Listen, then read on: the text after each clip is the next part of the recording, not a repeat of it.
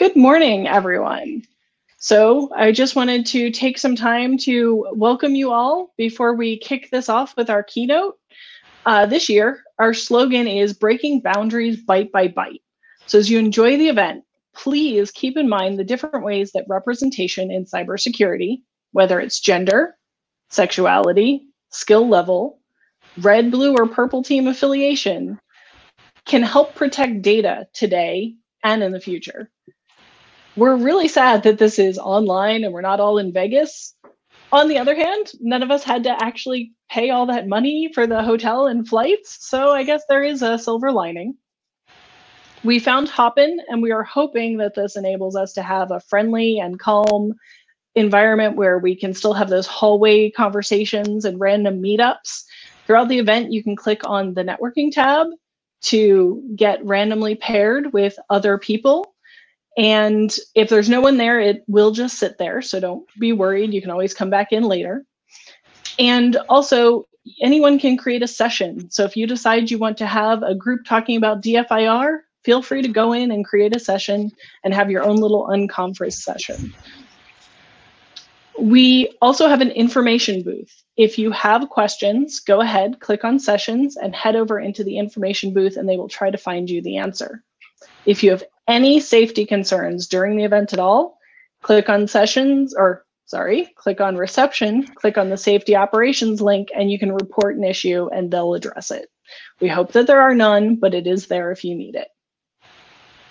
We also have a career village again this year. We've got mock interviews, resume reviews, and even a raffle for online learning courses, sponsored by eLearn Security. For anyone that's interested, we also have a Capture the Flag competition going throughout the event. There's a workshop immediately following the keynote over in the villages stage. So if you've never participated before, or if you've participated but you feel a little nervous, go ahead, show up to the workshop and they will get you kickstarted. We want to do a huge thank you to all of our sponsors. Without them, we could not have afforded to do this event. MongoDB, Microsoft, Salesforce, Verizon, Amazon Information Security, eLearn Security, Remediant, Intel, Thermo Fisher Scientific, Coinbase, and NS8. They're all in the expo hall. Speaking of the expo hall, there's a whole bunch of community organizations, events, and there's even Red Team Village with a series of talks going on throughout the day in the expo hall. We've got some prizes to give away in there too, so you might as well stop in. Finally, I just wanted to say we're really grateful that you've all taken time out of your day to come by, and we hope that you have a great event. Jasmine, take it from here. Thank you, Nicole. Um, I'm Jasmine, and welcome to our keynote. Um, which is uh, with Tracy Z. Maleeff.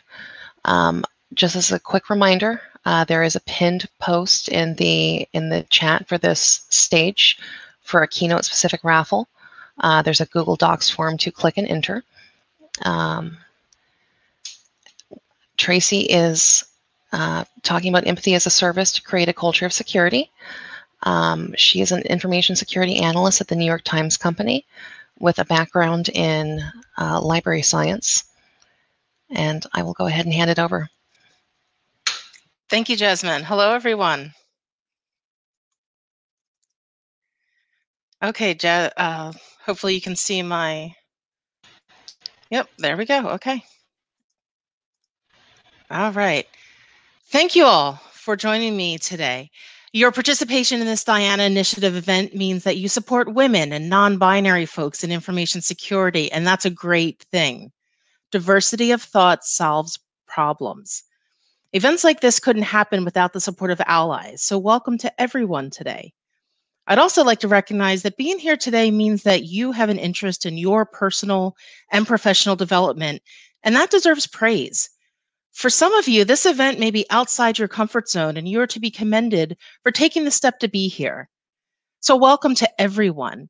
Let's begin my talk today about the concept of empathy as a service to create a culture of security. But first, have a disclaimer. First, a disclaimer and then an and such. Disclaimer is thoughts and opinions expressed are mine and my own and not that of my employer. In other words, if you take issue with something that I say, please take it up with me. If we were in person, I would encourage that you buy me a gin and tonic at the bar afterwards. Uh, but for now, just send me a note if you have something that you disagree with, and I'll be happy to discuss it with you. And then my and such is uh, what I'm about to present to you is a structure of thought from library science. I will show you how it can be transferred into information security. I know that to some of you that seems like a far-fetched idea. The things that I cover in my talk may not apply to everyone, but I just ask that you listen with an open mind and apply what you can to your situation. Thank you. Let's begin.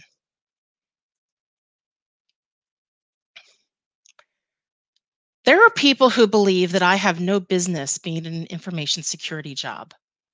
Why is that? Because on paper, I am a woman of a certain age with a liberal arts and library science education and no real tech experience. That's how I look on paper. But if you look deeper, you'd understand how I bring with me transferable skills and a different point of view very much needed in this field. But on paper, I look like what someone once said to me at DEF CON that I looked like I was searching for the Tupperware convention and got lost. Yeah, that really happened. But this talk isn't about me.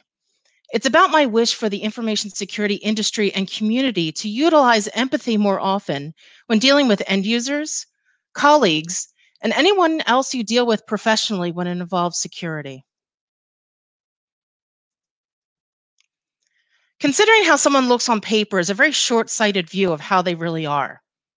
Using this seven step principle from library science called the reference interview, I'm going to show you how to be more considerate and conscious of people and how these steps can turn, can turn them into security advocates. Look beyond the superficial. People are not paper. Before we go any further, I'd like to quickly clarify the definition of empathy. Empathy is not sympathy. I'm not asking you to feel sorry for your end users. I'm asking that you imagine what it must be like in their shoes, how security looks from their perspective. For many people, the idea of a password manager or identifying a phishing email is a scary thing. This does not make them stupid. Therefore, do not belittle them over their lack of knowledge. Theodore Roosevelt said, No one cares how much you know until they know how much you care. It doesn't matter if you are the leadest of all the elite hackers in the land. If you don't demonstrate some empathy and compassion while dealing with people, that knowledge means nothing. In other words, don't put people down for not being tech or security savvy just to make yourself feel more important. That is a garbage attitude to have, and you're better than that. So, what are the steps of the reference interview? You can see them here on the screen. I will go through each one and explain how it relates to security and how you can implement it in your own world. Remember, when I'm talking about empathy as a service, I mean this not just for end users, but for your colleagues, whether that means other departments within your company or other professionals outside your company. It's also just great to use empathy as a service for these newcomers to the industry who want to learn. This is a great guideline of how to troubleshoot the core of security, humans. So, you know, there's one thing that brings all these steps together. There we have approachability, interest, listening, interviewing, searching, answering, follow up. What's the one thing that brings them all together? No gatekeeping. Empathy as a service is a no gatekeeping zone. That's another garbage attitude that needs to go away. Let's get started on these reference interview steps, starting with approachability. One of the things that made a strong impression on me when I first started in information security was the collective disdain and contempt for end users that I heard from many in the industry and the community. Whether you want to believe it or not, many parts of security are essentially customer service jobs. Now, I don't mean that as a derogatory statement, it's the truth. Security is human centric. Humans are the asset that we need to protect. So, approachability one of the factors of it is reputation. How do your end users and fellow professionals view you? Are you the angry security person? Or Are you the helpful person that people feel comfortable reaching out to? Now, this just isn't limited to individuals. How is your security team regarded within your organization? Do they think you are the scary trolls who boom, none shall pass? If you're unsure how your security team is regarded, you may want to ask around or even have a survey. I know that sounds basic, but if you really cannot gauge how the security team is regarded, you need to find out. If the results are unfavorable, well, then you need to start there. You need to start repairing a bad reputation. One way to, to repair that reputation and to judge your approachability is your contactability. Do your end users easily know how to contact you? What do your outgoing voicemail and email messages say to them? What's the tone of voice in your in your speech or in your writing? Does your security area have a phone number, a Slack channel, messaging apps? How can people contact you? When I first started at my SOC job, there was a woman who was surprised to learn that there were actually humans in security.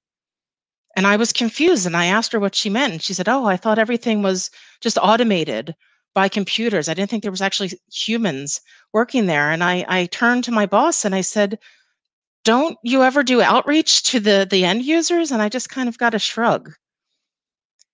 Know that there's people on the other end in security and know, make sure that they know how to, that your users know how to contact you. You were all humans.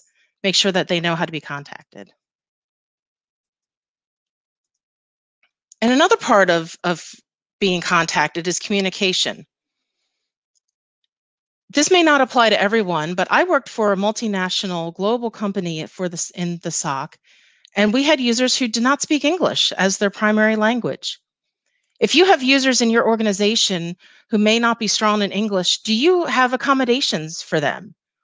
So, an example of this is we would receive emails in another language, which I would translate, and I would respond to them using the translator which my coworkers got mad about because one said to me, now they're going to expect all of us to do that. Well, we should. It's our job to get back to them. Have you noticed that maybe the phishing fails in your company in the South American offices are higher than other regions? Do you have educational materials in Spanish and Portuguese for them? Or are you expecting them to learn about security by reading another language? I have a couple of these story time slides in here. So let me tell you my first story. So that says in English, that says, uh, don't speak English. It's Italian for don't speak English. So story time. It was late in the day. I was about ready to go home, working in the SOC. An alert went off that there was some malicious documents being downloaded. Did my investigation and realized that it was a laptop in one of the offices in Italy and given the time difference, I realized it was about midnight or one in the morning. So immediately I'm thinking, oh, this is not good. What is going on here? I was able to quickly deduce that it was a security guard. So probably an overnight security guard was bored, probably downloading things. So through the messaging app that we had at the company, I was able to see that he was online.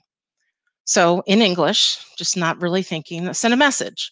And I could see the read receipt and then but nothing there was silence and i'm getting more and more concerned about whatever's being downloaded and i'm you know thinking all the worst thoughts and then it occurred to me this person might not speak english so went to an online translator the, figured out what i wanted to say put it in the chat box the very first sentence i used was i am using an online translator please excuse any grammatical errors I recommend this whenever you're using an online translator to communicate because we know that they're not 100% accurate.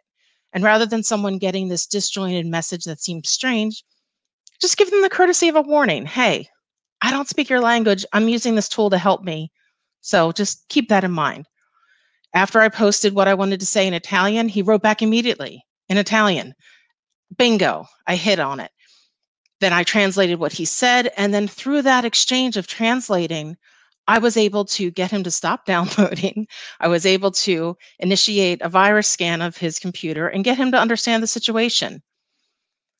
And that's all it was. He just needed to be told to stop, but in a language that he could understand. So I took an extra step to be heard because it was this person that needed to be protected and I was speaking, literally speaking their language. Another way for approachability is feeling seen. Now, this is usually a term used in a negative way. I want you to embrace this as a positive thing. Get out inside your company. You know, what do I mean by this? Network with people internally. I want you to adopt what has been known call, has been known as an intrapreneurial spirit. That's the essence of an entrepreneur, but with inside your organization. Market your security department, market yourself Develop what's called an elevator pitch, anything from one to five sentences about what you do, what the security team does, what the security can, team can do for your end users and other departments. Maybe even talk to your marketing folks on some strategies of how you can better promote what the security team does. This is where metrics come in. Maybe have some metrics that you can, without having any OPSEC issues, sharing them to tell people what you do for a lot of people, the security team's a mystery. So help them understand what you do and what you can do for them. At, at my old company, uh, the marketing team decided to create these coffee mugs that said something along the lines of by the time you finish drinking this cup of coffee, we will have defended 10,000 cyber incidents or something like that. Now, we had a good laugh about it because we don't know where they got that number from, but I appreciated the sentiment. It was a way to get the information out to the company in a fun way to show what the security team did. The end goal of approachability is that you want people to be thinking of the security team when issues come up. Being approachable will, will help remind them of that. So if that means joining a book club or a softball team, or just going to events and introducing yourself, just, hi, I'm Tracy from security that puts a name and a face to security for something that a lot of people thought was just an automated machine, you know, and a blinky block somewhere in a in a back room. Put a name and a face to security. The next step is interest. Now, this one I have a hard time describing because essentially I boil this down to this is just doing your job. You need to be interested in what people are bringing to you. Be interested in solving the problem at hand. What I like to stress to people is don't play hot potato. If you're familiar with that, you know, someone lands the pro- you know you have a problem that lands in your situation and you're real quick to get rid of it you know not my job not my department not my issue An- another way to avoid this is stop doing what i call blind transfers or blind handovers and let me explain have you ever called a customer service line and maybe you didn't reach the right department and they need to transfer you someone else. That's really frustrating, right? Well, what do good places do? Good places will call the correct department, get a new agent on the phone, and either have you on the phone while you hear them explain the situation and do the handover, or you'll be muted and then they'll they'll put you over. Don't just throw a problem at someone and don't just get rid of it because that makes the user feel really bad that you don't care, that you're not interested in solving their security problem. And then they're wondering, why did I even contact security in the first place? You want to make your interaction with an end user a safe split, a safe place, meaning don't belittle them, don't mock them, don't be condescending, be interested in the situation at hand. This is also just a good thing to practice with your fellow professionals and your fellow departments you know, if somebody contacts you and it's really a help desk issue, don't just throw your hands up and say, oh, not my problem. It's the help desk. Explain to the user, oh, you know, you've reached security, but I think you really want the help desk. May I send you over there? Let them know what's going on. Keep them informed. Be interested. So here's an example of how you can show interest through written communication. And I cannot stress this enough. If you're using written communication, you are not E.E. Cummings. Use sentence case, use punctuation. I want to give you an example of a letter here that is very brief, but conveys a lot of information that again shows your interest in the user's problem. So, first, you need to have a salutation. In this case, we have Dear Robert. It could be Hi, Susan. It could be Hello, Rajiv. However, you want to do a salutation. Let's look at the body of the message. I have two sentences that convey four very important pieces of information. Let's look at the first sentence. Thank you for contacting the security team about the phishing email you received. Two pieces of information. You thank them and you tell that you re- you reiterate what they contacted you about. Why do you thank the end user? Because they didn't have to contact you. They didn't have to go out of their way to send you a phishing email or another problem that you're dealing with. So you thank them for contacting you. And then you re- reiterate why they contacted you so that it's not just a generic, hey, thanks for email. Why did you contact them? The phishing email. I'm going to tell you why you contacted me. You contacted me about that phishing email. Second sentence. We will investigate and get back to you within a business day. Two pieces of information your action, what you're going to do, investigate, and a reasonable amount of time to get back to them.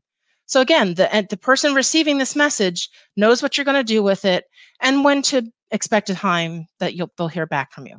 So two sentences, four very important inf- information that the person knows that you are interested in their problem and they know what's going on.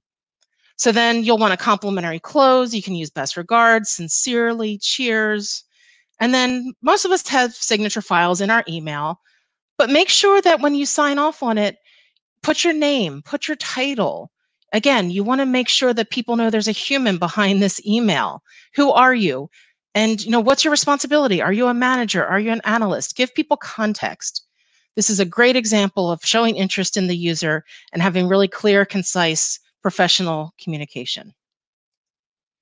So I want to share another story with you. So I received a call one day in the SOC, and I could tell immediately that this this gentleman Carl was sick. I could hear he was congested. I could hear the wheezing in his voice, but I could also hear the tension and the stress. And he said to me, "I'm homesick. I'm on a lot of cold medicine, and I realized that I just clicked on a malicious email. So I said, okay, now this talk isn't about remediation, so I'm not going to go through what I did, but I you know was able to get information from him of which email he was referring to, and I investigated. And long story short, it turns out it you know was a false positive, no harm, no foul. The site that he clicked on was actually taken down. Everything's fine. But the part stuck in my head of okay, he's kind of drugged up right now and he made a poor security decision. What can I do to show interest and kind of help on the side of security? So I came up with a little bit of a fib. I said, okay, Carl, we are going to do a virus scan of your laptop. Are you able to spend an hour away from your laptop? Now, you and I know that it doesn't necessarily take an hour to do a virus scan, but again, fibbing for the purpose of security. And he said, Yes, I can step away for an hour. I said, Okay, let's do this. I'm going to walk you through how to initiate a virus scan on your laptop. Go take a nap. Go take an hour nap. When you feel refreshed, go back on your computer. And he said, Oh, that's a good idea. I'm going to do that. And I could tell, I could hear the tension leave his voice. I could still hear that he was sick, but I could feel the tension go away. So that's how we left things. Now, again, I told a little bit of a fib, but again, I was very quickly thinking, what other bad security decisions is he going to make while he's under the influence of cold medicine? So I just, you know, made a quick decision of, you know what, I'm to I'm to fib a little bit. And no harm no foul. He got to take a nap. He understood what he did was wrong. There was no need to beat him up for it. Virus scan came back clean. All is right in the world.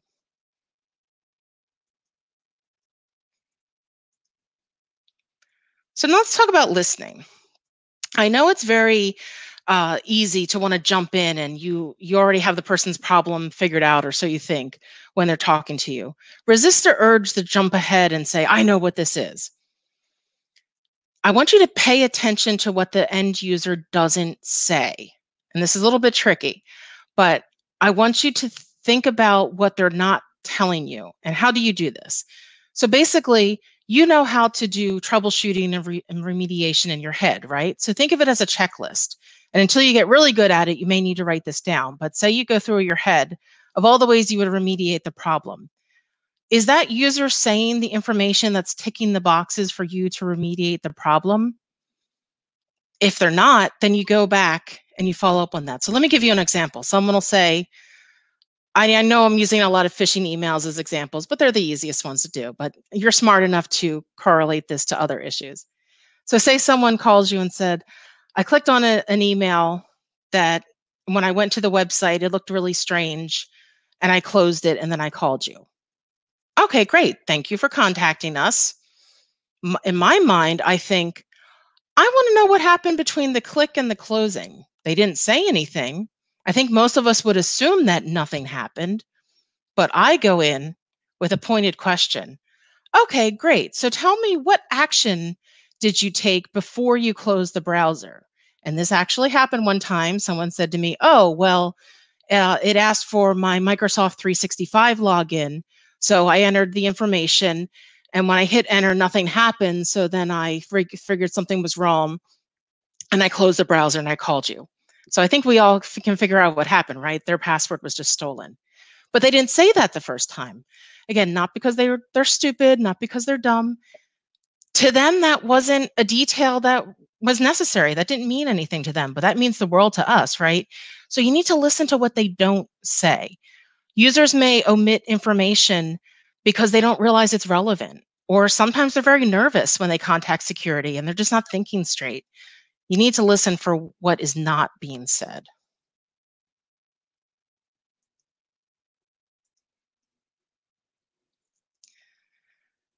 F. Scott Fitzgerald said, To be kind is more important than to be right.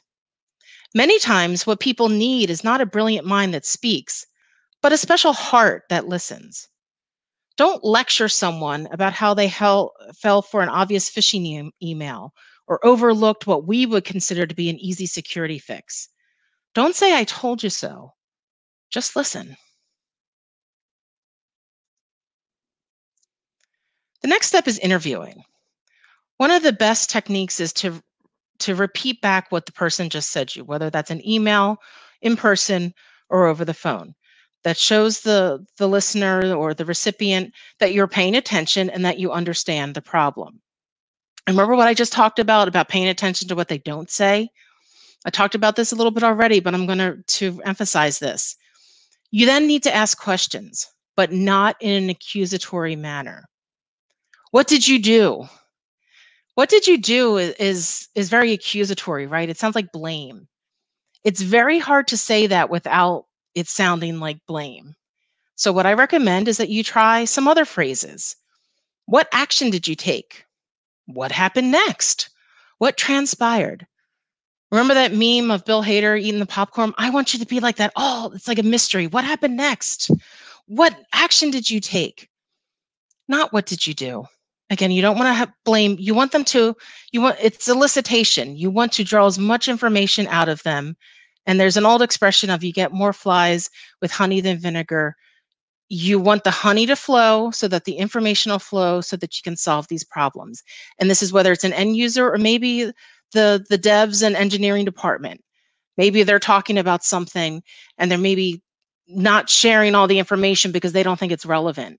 So just ask some questions in a nice way to let the information flow so that you can work on a security problem together. Searching. Now, this is kind of redundant because a lot of what we do is searching anyway to solve problems, but I want to want to give you some ideas of different ways to, to look at this. One way to look at it is did a security precaution fail the end user or the other department? Was it really their fault? you know, help the user connect the dots. I can't stress this enough. Don't let security get in the way of people doing their jobs. One example of this is one time I was in a meeting with another department and they came to security and said, We would like to purchase this new software and we'd like security, you know, to give it its blessing. And in hindsight, I think we as security were probably a little too harsh on this other department, really picking apart their software choice and raising issues and things like that. And something that the the manager of the other department said really just struck me and really just made me pay attention and correct my ways. He said, "Why do I feel like my department is being punished for coming to security?" oh, all the things that I hold dear about being a security advocate that just was a knife through the heart. He was absolutely right. We were making them feel bad. We were giving them an extraordinary tough time when they did the right thing. How many other departments just buy software and don't ever involve security? So, how did that procedure fail that department? You know, and that gave us that gave us encouragement of how to change the process so that wouldn't happen again. So you need to search for ways to solve problems when you may not have realized that there was a problem. So let's talk about another story. Let's talk about accounts receivable Rhonda. So one day, uh, get an email, and Rhonda explains that she's new to, uh, she's not new to the company, but she's new to this position where she now has to pay invoices. And she's been doing it for about, you know, a month or two. And there's this one vendor that they pay weekly that all of a sudden it the invoice shows up and it's different than before. It used to be just a PDF attachment, but now it's a link to, you know, DocuSign or some some site like that. And she didn't know what to do. So immediately they gave her pause. So the first thing I did was commend her for contacting security. And you know, asked her questions about it. So I said, let me let me investigate this DocuSign and I'll get back to you. Because we know a lot of times phishing emails go through sites like that. So I tore everything apart. I couldn't find anything wrong with this. So I this time I called Rhonda back. And I said, Rhonda, do you have a contact at this company? And she said, Yes, Joanne. I said, Okay. Can you talk to Joanne to see if this is a new method that they're using? And Rhonda's response was, Well, yes, I can email her.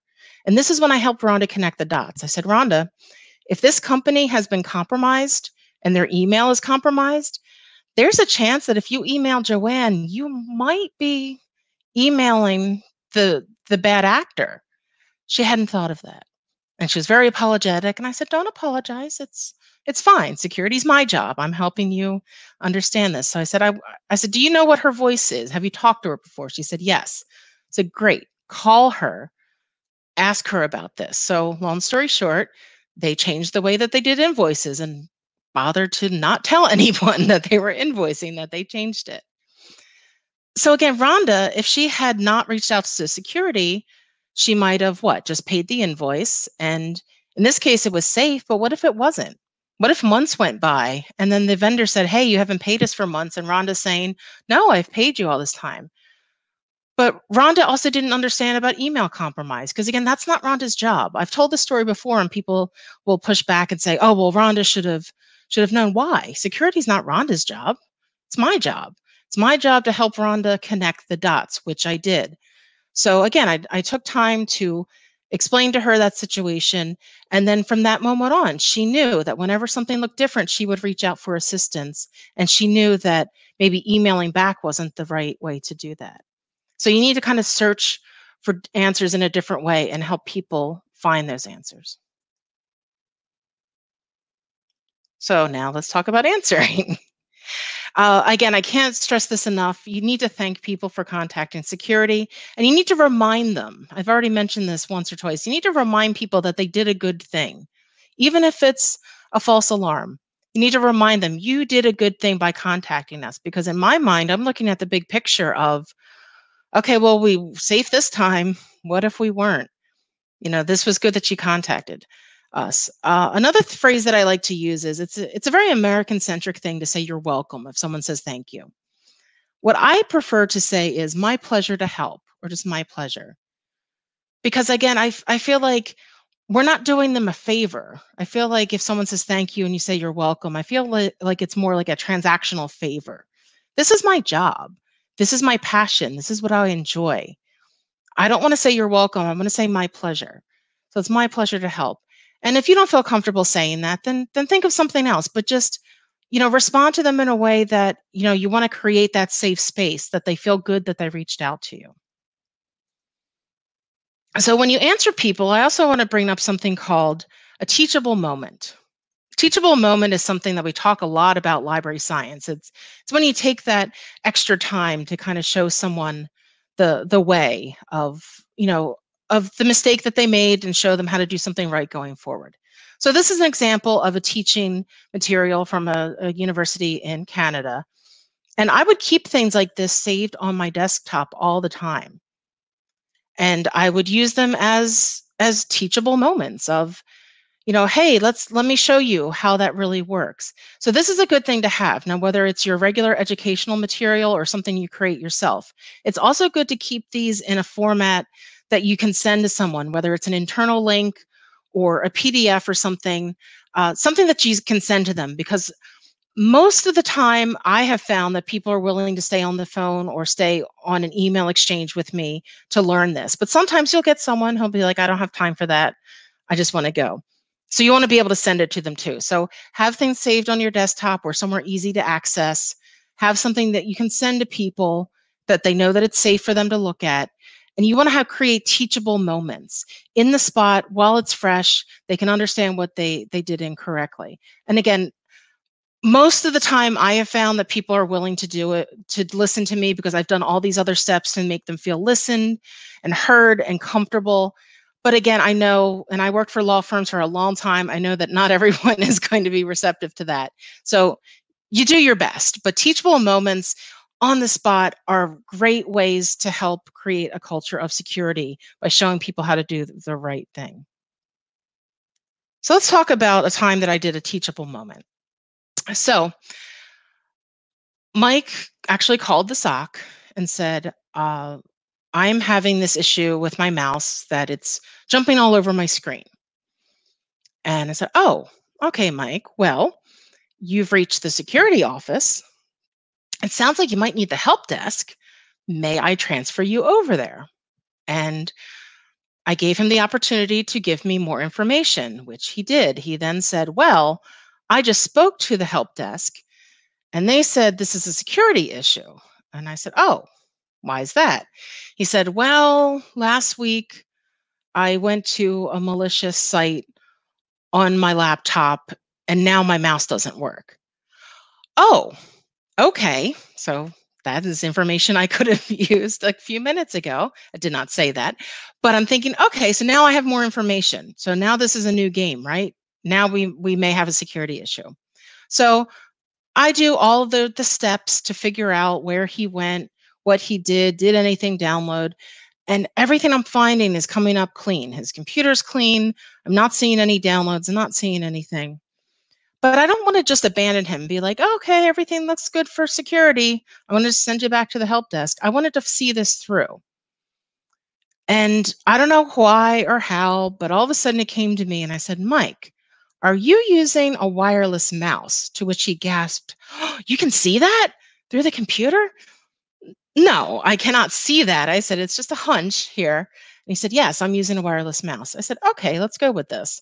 When's the last time you changed the battery in that wireless mouse? And there's a pause, and he thinks and he goes, Never. Okay, let's do this. Go find some fresh batteries, try it out, call me back. So I moved on to my next problem. He calls me back 15 minutes later, very apologetic, very sheepishly said, Yeah, it was the batteries. It, the mouse is fine. It just needed new batteries. I said, Okay, great. Your mouse problem is solved. But I'd like to take a few minutes to go over that email you received, which took you to that malicious website. I want to show you the red flags that you perhaps missed or overlooked. May I have some of your time to go through this now? Because I took the time to solve his problem and didn't make him feel bad about it, he stayed on the phone with me while I was able to walk through and make it a teachable moment. And he learned, learned going forward. And he he said to me, he said, Oh, now some of the stuff was new to me. Now I know this going forward. I'd made that a teachable moment. And it's because I was listening. I was using these steps. I was listening to what he said, to what he didn't say, putting things together and then you know showed him this the the things that he did that he could improve upon and then i left him with i'm going to send you this email with this information and this was all all a good thing because otherwise what he would have been bouncing around between departments and the next time that there really was a serious issue he may not reach out to anyone because he had a bad treatment before let's get to step seven follow up so this is the last of the seven steps. And this is kind of what you want it to be. This is things of think of initiatives to further create a culture of security with your own organizations. Are you short on time? Do you have playbooks written up? for some of the the ordinary tasks that you see all the time or the ordinary problems this not only helps the people working security but also helps the end user because security then if there's a playbook and instructions of how to solve some of your most frequently seen issues you can get back to the end user quicker to solve their problem or get back to the other department quicker to solve the issues that they're having have guides that you can either give to departments or individuals or even to the security employees of how to handle responses. You know what what language do you have for teachable moments? What materials do you have? You know come up with other ways to improve your end user interaction and your interdepartment interaction. But most importantly for follow up turn takeaways from your user interaction into improvements do you realize that maybe there was a flaw in a system that could be improved upon? Like I mentioned the meeting before with the other department where maybe we weren't really so great to them. I saw that that was a problem, but I turned that into an opportunity to improve a process. So really kind of do these these you know post-mortem evaluations of things. Are you identifying issues that you can then turn into gold? Because then that's going to make things better for everybody. So, some other things to follow up I like to call random acts of security kindness. Lead by example, tell, then show. What do I mean by this? Don't just tell someone, use a password manager, and then walk away thinking that you are the most amazing security professional in the world because you dispensed some fairy dust of knowledge. If you don't show them how to use a password manager, they're not going to use it. If there's another department that's doing something that might be secure, don't just tell them that they're doing it wrong. Show them how to use it correctly. Facilitate security through kindness. And this is perhaps one of my favorite ones that I call the cyber cupcake. This came to me one day in the SOC that I wanted to reward someone for for doing something good by bringing attention to a problem to us uh, and also just being re- very receptive of how to remediate it. And i couldn't think of anything to do and at the time i worked for this you know multinational global organization i couldn't send them anything. So i thought what do people like? People like cupcakes and they can be anything especially a picture of them can be anything you want. They can be gluten free they can be vegan they can have bacon on them in a photo whatever you want so I found a picture of a cupcake and I sent it to them an email and I said, you know, thank you for bringing this to our attention and for the great work for fixing it. Here is a, a cyber cupcake. I called it a cyber cupcake. Sure, I thought that they might roll their eyes and think I was dumb for sending that. The response I got back was so heartwarming. It was, You made my day. And I kept doing that. So whether it was through a messenger with an emoji or this just JPEG I had saved on my desktop, I send out cupcakes to reward positive behavior from a department or an end user. And I've I've done this. You know, I, I do this as often as I can, not to the point that it it ruins the surprise of a cupcake, but you know, if I see something that somebody really went out of their way to do to work with security, reward that positive behavior. Now, if you work in a small enough organization where you can give actual cupcakes, oh, you're going to be a big hero. But for those of us who are more distant, and everybody's kind of distant these days, right? You know, a cupcake emoji goes a long way from making someone feel good about what they they did to help with security. Another way is to do outreach. Everybody loves snacks, right? So this is an actual photo of a king cake from a Mardi Gras uh, party that that my department had, we had an extra king cake. So I had the thought, oh, our security office hours are tomorrow. I'm going to bring this king cake to the office hours, and when I tell people that we're open for office hours, uh, I'm going to tell people that we have cake, and then they can have cake, but they also have to talk to us about security. So sure enough, we had an amazing turnout, and we did have some people who wanted to steal cake and run away. But there was actually one person I, I kept him in the doorway for five minutes while I talked to him about security. And in the end, was actually able to educate him about something he didn't know about while he stood there nibbling on his piece of cake. And it was just, it was a great session. You know, snacks bring people out in the office. Now, again, I know things are more difficult because we're all distance, but someday in the future, we will most likely be on site again. Or you can send people things. You can send people, say, a Starbucks uh, gift card through email and as you know a snack for them you know think of it as a return on investment you know you want to to entice people to listen to you and snacks kind of help facilitate that i also want to share something that i we did for a long time in the last library i worked at now again this might not be possible for all of you but i just want to share this as an example of something we did so every christmas time everyone on the library staff would bake home goods cookies cakes cupcakes, you know, candies, you name it. We'd all bring them in on this appointed day and we'd create these big trays full of, of snacks and wrap them up real nice. And then we'd walk through the firm and we'd give them to the help desk, to the mailroom, to accounting, to the receptionists to thank them for working with us throughout the year. And this was relationship building. And, you know, some some people have heard me tell this story and say, oh, well, you just bribed them. No, we didn't bribe them to do anything. It was not in exchange for anything. It was out of the goodness of our hearts. But that return on investment goes a long way because 6 months later when it's 4:59 on a Friday of a holiday weekend and you need a check cut and someone from accounting will stay late to help you, a cookie tray goes a long way to build that that interdepartment relationships that help you. So we all need each other to succeed. So do things like outreach and nice things like that to have a return on investment of kindness and it's relationship building. I want to bring up the lunch and learn. This is not a new concept, and a lot of people think of lunch and learns as dealing with end users.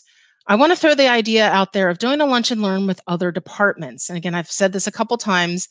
I know from experience that other tech departments see security as a mystery. And so, why not come together for a meal? Have them spend 15 minutes talking about what they're working on, spend 15 minutes talk about what security is working on, figure out how you can work on things together. Outreach to your other departments within the organization can again help build a culture of security.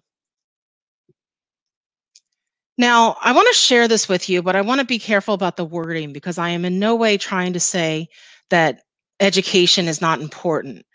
Uh, this is an actual article that appeared in the Washington Post on April 4th, 2018. It's all about a study from the Journal of Psychological Science in the Public Interest.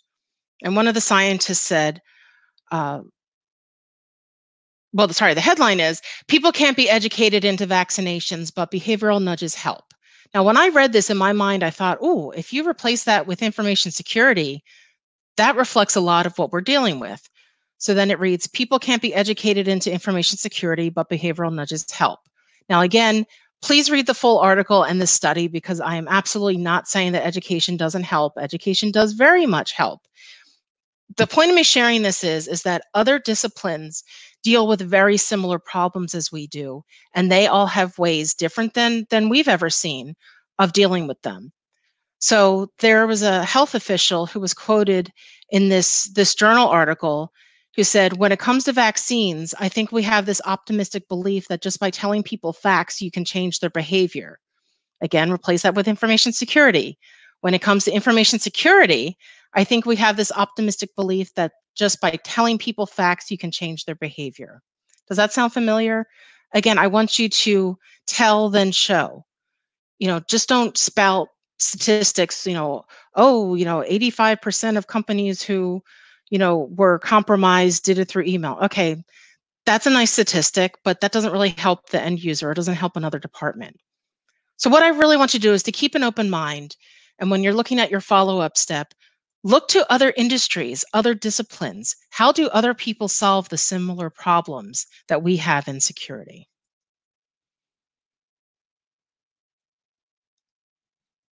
Oh. My computer just slowed down for a second here, sorry.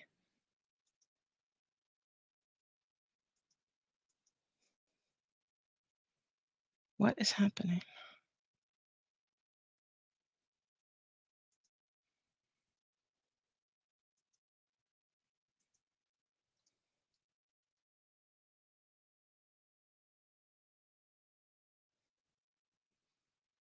Sorry, my computer is. Okay. So, oh man.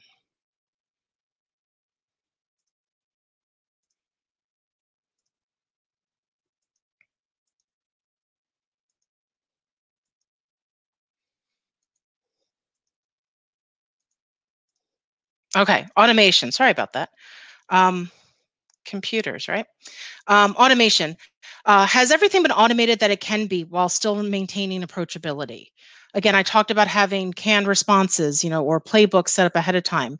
But remember, there are so many people out there who think that there's nothing but, you know, bleep blorp, blinky boxes uh, behind the scenes. Make them know that there's there's humans there, but for our sake, for workload, automate what you can, but without losing that touch.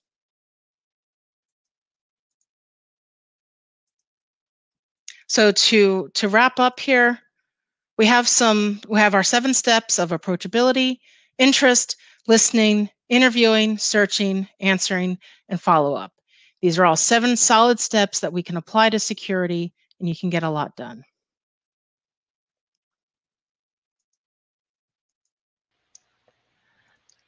Thank you, Tracy. Oh, I'm I'm not done yet. I'm so sorry. That's okay. So, um, uh, just a few more minutes, everyone. Sorry. Uh, so, I've thrown a lot at you today. Uh, so, I'm going to give you some strategies for success, or also why you should care about creating a culture of security. One is the sugar bowl principle. I know that we all have ex- expensive blinky boxes to help with network security, but remember, security at its core is human centric. So make your security team compatible with the humans that you're protecting. The humans are your front line, your infantry. Make sure they know how to report back to you.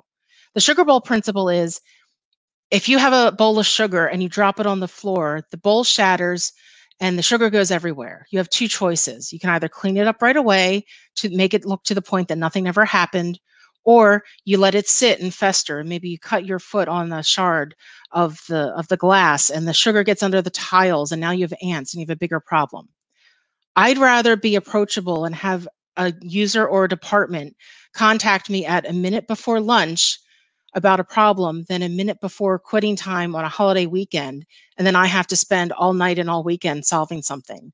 If you make yourself approachable you'll learn about problems sooner and that's best for everyone.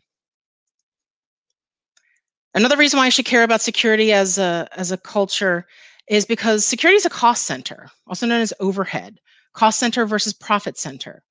Why not make security the model for all the other departments? When I was a librarian at my last firm, the library consistently scored the highest of all the firm's departments when it came to internal customer satisfaction and performance, and was held up as an example within the firm. Now, I'm not saying that I specifically was the reason for that, I'm just saying that I know what it's like to work on a high performing team and what success looks like.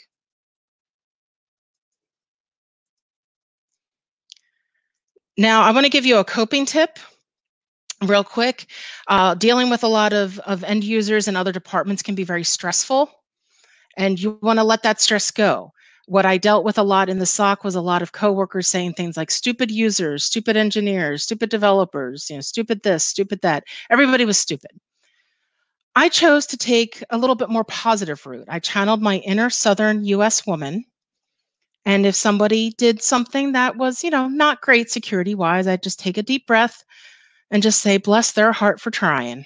Now, those of you who are familiar with this expression know this isn't actually a nice thing to say, but it's a not nice thing to say said in a nice way. um, you know, sometimes that's all you can do. You need to get your stress out, but I prefer to do it in a more positive way just deep breath, click my tongue. You know, they are just bless their heart for trying. They are just doing the best with, with what the Lord gave them. You know what? And just exhale and go about your day. Sometimes that's the best you can do.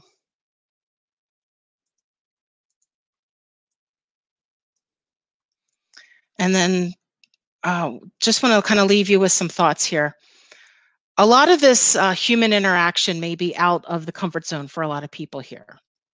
But you know what the great thing is? It's just a skill like anything else. You didn't come out of the womb knowing how to code. You had to learn how to code and you had to perfect it and you had to hone it.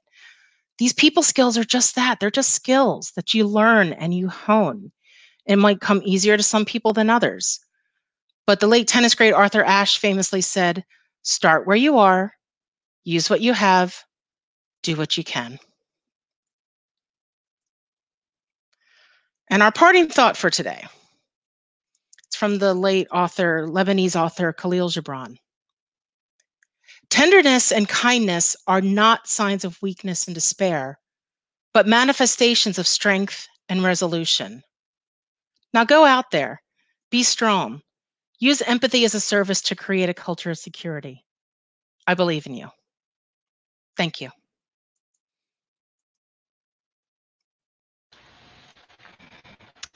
Thank you, Tracy. That was amazing. I apologize for interrupting you. The audience was very emphatic that they wanted more Tracy. Um, when that happened. I and I apologize for the uh, computer issue, but you know, computers. Um, just a hashtag shameless plug.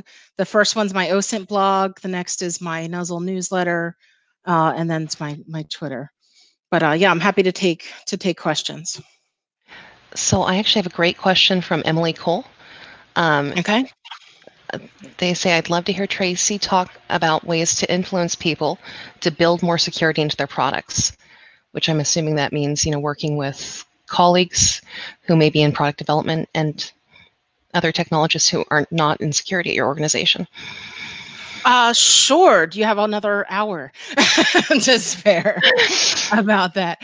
Um, as quickly as I can, Emily. Um, you know, it's again using these techniques of you know meeting with them, understand, try to understand what their challenges are. Why do they think security is a blocker for them? I would kind of start with I would start with a reference interview.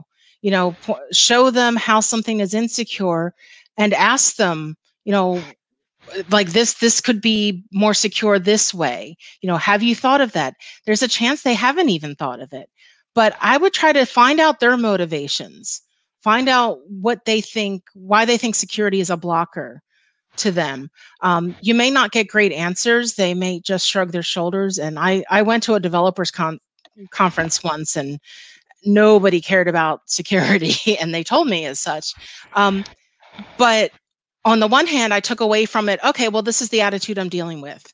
So now I'll prepare that way. So I would try to discuss with people why they think security is a blocker and kind of go from there. And then again, tell, then show.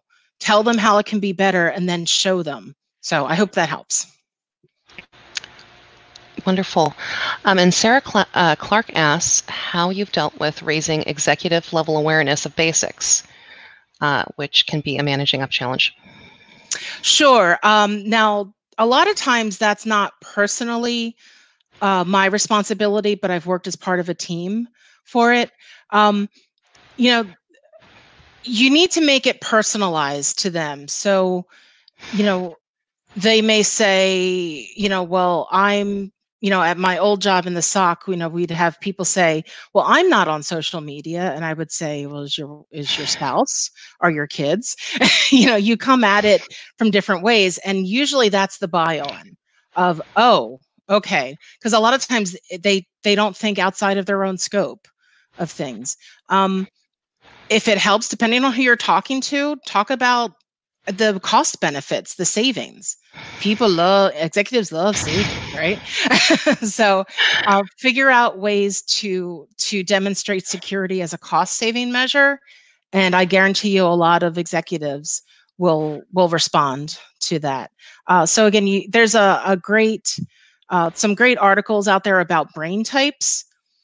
Uh, you you've kind of figure out the brain type of the person you're speaking to, and you address those you know maslow hierarchy of needs with them. You figure out what they hold most dear and address that. If they're if they're cost very cost conscious cost, centric then address costs of security how it's a good thing. Like well we could spend x amount and protect you now or we could spend x millions amounts later to recover you know from a, a breach and and things like that so if you kind of put it that way then then a lot of people understand i hope that helps I think that's that's fantastic. Thank you. Um, Cassandra Brunetto um, is curious what your most challenging experience was with a customer or client and how you navigated that. Sure. Uh, it's not actually a security example, Cassandra, but I'd like to share one with you. When I was at the law firm library, I had this one, uh, you know, one this one attorney. He was very old. Um, he, he was a, a, let me let me phrase this delicately. Uh, he was close to retirement, um, and he was just very persnickety and he would fight with me tooth and nail all the time. He constantly wanted me to purchase books for him. And it got very contentious and it got very stressful. And one day my boss said, You two are going to go to lunch and hash this out because I'm tired of hearing about it from both of you. So we went to lunch and he explained to me that you know he was concerned that he was getting pushed out of the firm because he was close to retirement and he wanted all these books because he wanted to to show that he could take on different types of cases. I said okay i understand that but i only have a certain budget that i can buy books with. I can't just buy every book for your whim. So we we hashed all this out and we came to an understanding and i said i understood what he where he was coming from and i made a deal with him. I said when you sign a client, you know, actually sign the paper, sign a client to a different area of law for which you do not have a book, then I will buy it for you. And he was happy with that. But until that, we were really butting heads a lot and it was a very stressful situation. So, uh, yeah, it took being forced together over lunch. Uh, to hash out to understand his point of view and then i was able to make you know a reasonable accommodation for that. And from then on, like I was his librarian. Like he only wanted to talk to me. And uh, you know, but smooth sailing. Then I was able to really then call the shots of, you know, and say things to like, no, you already own that book. Oh, right, right. Okay. Uh, so I hope that helps. But uh, yeah, it's sometimes it's just kind of understanding someone's situation. They they might bark a lot, but if you uh, you know, get down, sit down, and under, really understand what their problems are, what their motivations are, then you can work with that. Fantastic. Um, I believe that we are coming up close to nine um, Pacific. So um, I'll let you close. Um, the audience is typing things like wild applause. oh, sorry. Yeah, let me get to that page there. Um, I am terribly sorry that I had that little bit of a computer issue, everyone. So I apologize for that, but thank you. Thank you so much. But yeah, I, I apologize for the little glitch that we had. But what can you do? Computers. but thank you so much for joining me today. I really hope this was helpful. I hope you like this. Um, I'm passionate about this. Uh, and I just I want all of us to do better. I I just want everyone to feel the way I do about about security, and you know it doesn't have to be, you know it can be it can be a very positive experience. So thank you all for spending time with me today. I really appreciate it.